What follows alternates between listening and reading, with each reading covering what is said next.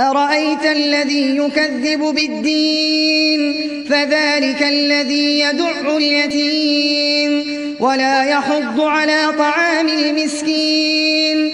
فويل للمصلين الذين هم عن صلاتهم ساهون الذين هم يراءون ويمنعون الماعون